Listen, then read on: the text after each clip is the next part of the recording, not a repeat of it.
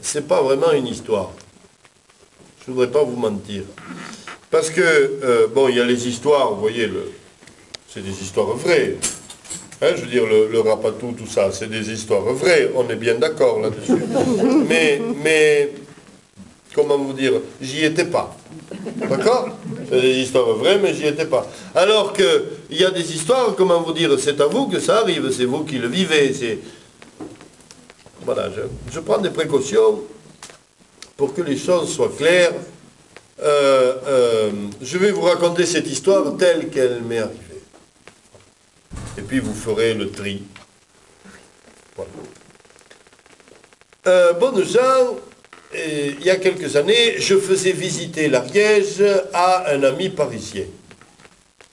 Oui. Oui. J'ai des amis parisiens. Oui, eh oui, oui j'en ai un en tout cas. Et, nous étions du côté de Montségur. Ça vous parle, j'espère. Vous êtes Sainte-Croix, c'est presque l'étranger pour vous, ma hein Nous étions du côté du château de Montségur et euh, moi, je suis comme tous les Ariégeois, comme vous d'ailleurs. Je connais mon coin à Champignon. À Sainte-Croix, vous êtes servi, mais enfin voilà. Je connais mon coin à Champignon, et puis après, l'Ariège, bon, je sais pas. J'en ai entendu parler, mais j'y vais jamais. Donc, on s'est retrouvé au château de Montségur, et plutôt que de redescendre par Montferrier, nous avons décidé, folle équipée, de partir par les gorges du Lacette, passer par Bellestar, revenir par la... Vous imaginez, ça fait, une trotte quand même. Puis, l'aventure. Nous descendons vers Bélesta, et peu de temps avant Bélesta, peut-être deux ou trois kilomètres avant, je, vois, enfin nous voyons sur le bord de la route, comment vous dire, je, cherche mes mots parce qu'une falaise, tu vois, mais une petite falaise, pas énorme, mais quand même une falaise, et alors surtout au pied de cette falaise, une grotte. Mais une grotte, comment vous dire, pas immense, pas énorme, 7 ou 8 mètres de large sur 3 mètres de haut, mais surgissant de cette grotte, j'allais vous dire une source, mais alors une source, attends, ruisseau, quoi, une, une, rivière, voilà, qui jaillit de la montagne dans des flots tumultueux, tourbillonnants, avec toutes les cubes du monde. Écoute, c'est beau. Quand tu fais du tourisme et que tu vois un truc de beau, tu t'arrêtes et tu prends des photos. Hein. Alors nous nous arrêtons, nous faisons quelques photos, nous allons pour repartir, et là, le copain me dit, mon Dieu, regarde, il y a le niveau de l'eau qui baisse. Je vais vous le faire en version originale, parce qu'il n'y a pas de raison. Euh, il me dit, il me dit, euh, attends, mais regarde, c'est dingue. c'est important, voilà, pour ceux qui. C'est dingue. Il y a le niveau de l'eau qui baisse. C'est bien parce qu'il y a une partie du public, ça ne fait pas rire. Origines. Bon, non, mais je regarde personne, je regarde mes pieds. Voilà. Et, alors, je lui dis, comment ça il y a niveau... Mais oui, il y a le niveau de l'eau qui baisse. Regarde. Et bon, ça parle bizarrement, mais ça a des idées fines il te prend un bout de bois et il fait une trace sur la mousse, là, au ras d'un rocher. Deux minutes après, 5 cm en moins. Ah, misère, on refait un trait, le niveau de l'eau qui baisse. Ça baisse. Et on voit apparaître les rochers, les algues, les mousses trempées. Bref, sous nos yeux, là, la fontaine était en train de se sécher. Alors là, la panique nous a pris. Mettez-vous à notre place. Pensez aux moulins, aux poissons, aux drames écologiques. Alors aussi, il faut faire quelque chose. Il faut appeler, je sais pas, moi, la, dépêche, le CNRS, il faut faire quelque chose. à l'époque, il n'y avait pas de portable. Alors on se tourne partout, à droite, à gauche, et on voit de l'autre côté de la route une petite cabanette avec marqué buvette. C'est là où on aurait dû faire un peu attention. Mais tu sais, dans l'enthousiasme, on se précipite, on entre dans la buvette, monsieur, et puis là, il y a un cafetier, grosse moustache à la gauloise, là, tu sais, en train de, de, son bar, quoi. Monsieur, monsieur La Fontaine, eh ça va être affreux, les poissons, hein, tout, il faut faire... Bon, et lui, au lieu de s'affoler, il se, retourne la moustache comme ça, il fait un bon gros sourire et il nous dit, vous inquiétez pas, vous inquiétez pas. Cette fontaine, toutes, les 20 minutes, voyez-vous, elle baisse, elle baisse, elle baisse jusqu'à plus couler du tout. Mais au bout de 20 minutes, elle remonte, elle remonte, elle remonte, et elle coule à plein bouillon comme quand vous êtes arrivé. C'est une fontaine intermittente, vous voyez, qui nous a dit en se remontant la moustache. C'est un phénomène qui est connu depuis l'époque des Romains, c'est dans tous les guides touristiques, c'est pour ça qu'on y a foutu la buvette. voilà, alors là, dans ce genre de situation, deux stratégies s'opposent. Euh, la locale et la parisienne. Je le dis sans arrière-pensée. La locale, elle est simple. Tu te mets la casquette sur les yeux, tu espères que le type il n'est pas physionomiste, tu décampes et tu ne repasses plus pendant 20 ans. Éviter le ridicule. La parisienne. Tu y es, tu y es bien, tu insistes. Mon Dieu. Et moi qui l'entends dire alors que j'étais, j'avais déjà fait demi-tour, j'entends le copain qui dit Non mais bon ok, elle est intermittente votre fontaine, d'accord, mais pourquoi? J'ai vu, j'ai vu dans les yeux de mon cafetier, j'ai vu, tu sais, oh j'en ai deux là, des beaux, je les garde. Là, des comme ça, on n'en fait pas tous les jours. Et le voilà qui nous dit, ravi en se tirant les moustaches. Écoutez, il y a des géologues qui sont venus et qui nous ont expliqué, comment vous dire, que c'est un siphon, vous voyez, sous la terre qui s'amorce et qui se désamorce. Alors quand il s'amorce, ça coule pas, quand il se désamorce, ça coule, ou c'est l'inverse, ça fait j'en sais rien, comme la cuvette des toilettes,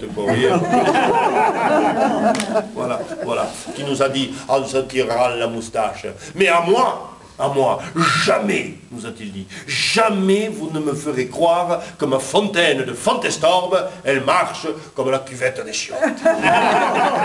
jamais, monsieur qui nous a dit en se tirant la moustache. Et le collègue, bon, ouais, enfin quand même, c'est assez séduisant comme explication. non. qui nous a dit en se tirant la moustache. À mon avis, ce serait plutôt à cause des... des fadas. Les fadas. Ceux qui rigolaient pas, là, ils comprennent pas. les fadas, les fées les bonnes fées, pas tout ça. Et oui, les bonnes fées, les fadas, ce que voulez-vous? Et chacun sait dans notre pays que les fées existent. Premier point, ça c'est une évidence. Vivent dans des grottes et près des sources. Tout le monde le sait. Demandez donc à la petite Bernadette de Soubérou. Alors pensez, c'est évident, à Fontestorbe, il y a la fontaine dans la grotte. Alors évidemment qu'il y a des fées, seulement elles ne peuvent pas sortir qui nous a dit en se remontant la moustache. Alors de temps en temps, elle coupe l'eau pour pouvoir sortir et rentrer. Voilà.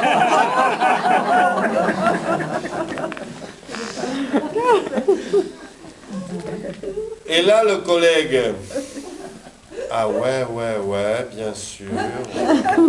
À cause des fadas. Ouais, ouais.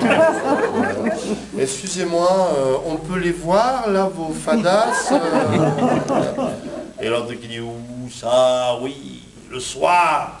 À la tombée de la nuit, on peut parfois les voir, mais mais faites attention, attention, jeune homme, n'allez pas voir les fadas comme ça.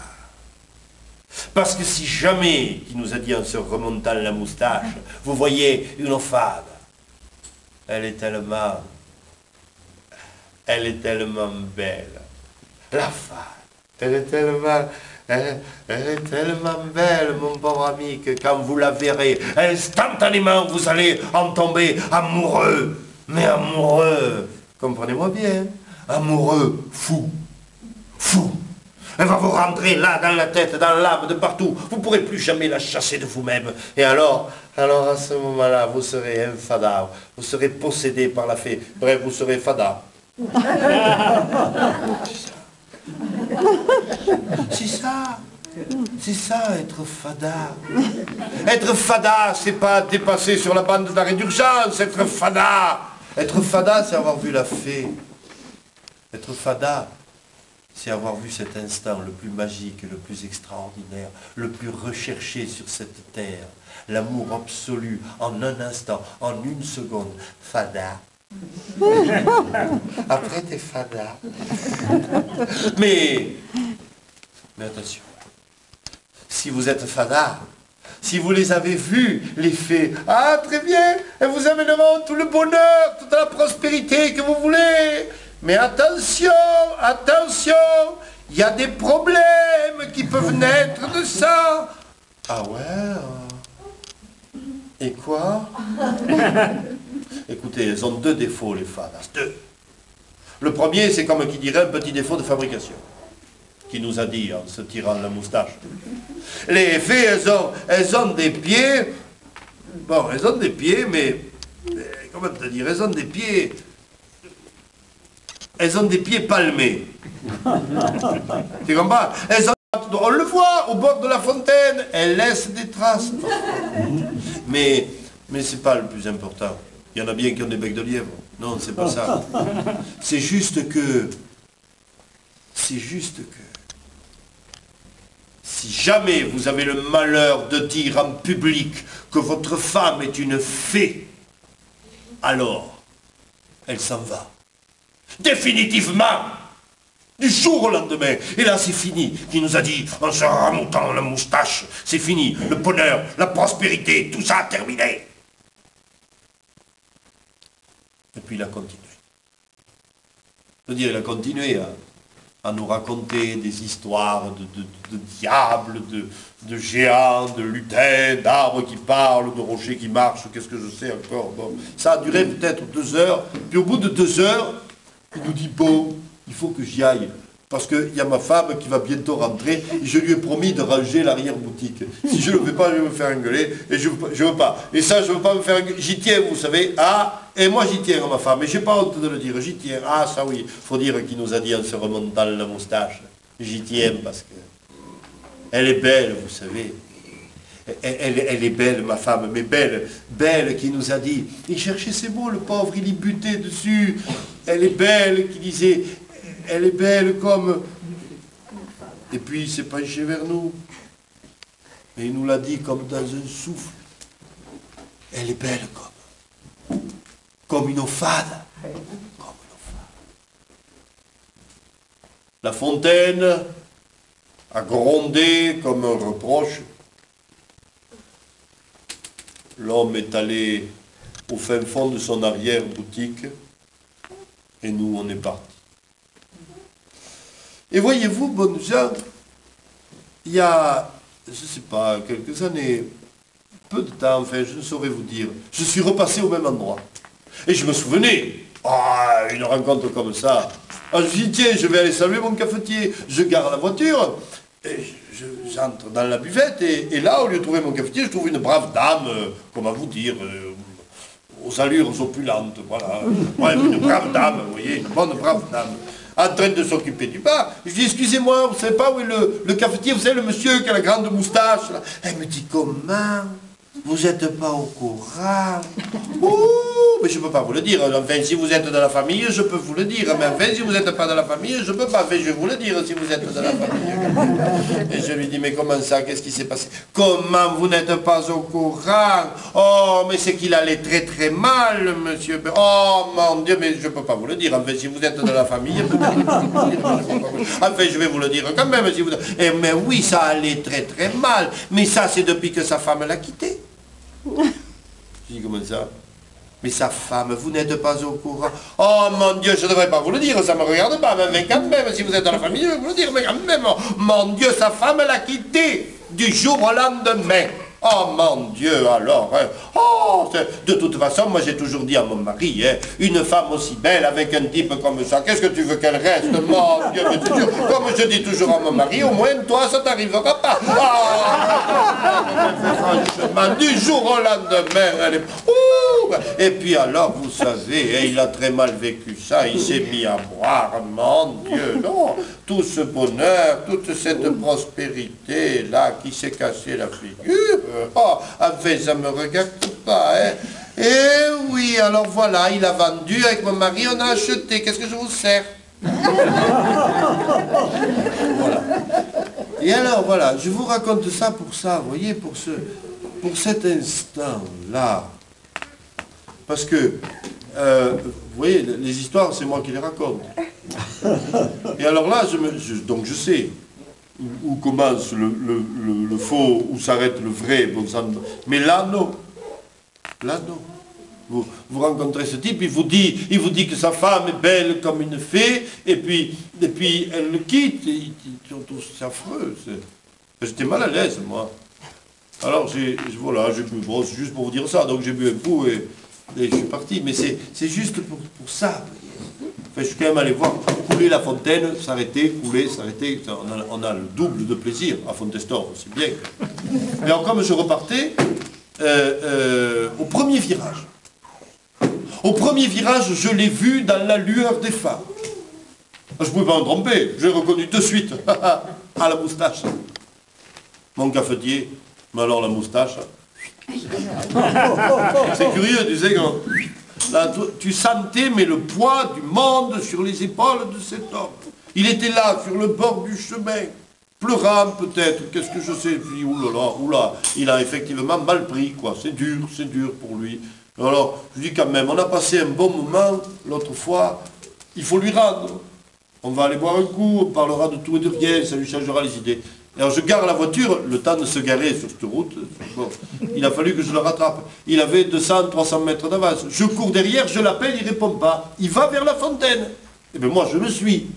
Arrivé sur le parking, il y a des grands platanes là, et je, le vois qui, qui se cache. Il se cache, enfin je veux dire il se cache, comme s'il ne voulait pas être vu de la fontaine, vous voyez Il se plaque, il se fout derrière. Et moi j'arrive derrière un truc pour se trouver mal à l'aise, c'est ça. Le type, il se plaque pour pas être vu, et vous, vous arrivez, salut, ça va? On voit plus que lui, vous voyez Alors, je ne peux pas lui faire ça. Alors, je... Bon, j'aurais pu revenir à la voiture, mais j'ai pas voulu parce que bon, j'aurais pas su quoi faire. Bon, vous auriez fait comme moi, quoi. Je me suis caché aussi. voilà. Voilà, je me suis caché aussi. et bon, comme je ne voulais pas non plus passer la nuit là, je regardais de temps en temps pour voir ce qui se passait, pour savoir quand est-ce que je pouvais rentrer. Voilà, c'est tout. pour ça que je regardais. Donc à un moment, j'ai regardé. J'ai regardé et j'ai vu. Je veux dire, j'ai vu mon cafetier qui lui aussi regardait vers la fontaine. Alors moi, du coup, j'ai regardé vers la, fontaine. Oui, je, oui, j'ai regardé vers la fontaine. Comme pour voir. Il y avait quoi? Et là,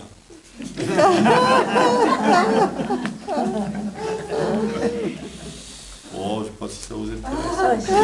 Là, là, ce que j'ai vu à ce moment-là,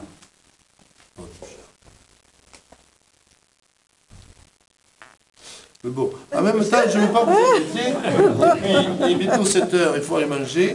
Et, je ne veux pas vous embêter parce que quand je commence à partir comme ça, je ne m'arrête plus. Je raconte des histoires de, géants, de lutins, d'arbres de, qui parlent, de rochers qui marchent, de toutes sortes de choses. Et, voilà. Et j'ai promis de rentrer tôt. Voilà.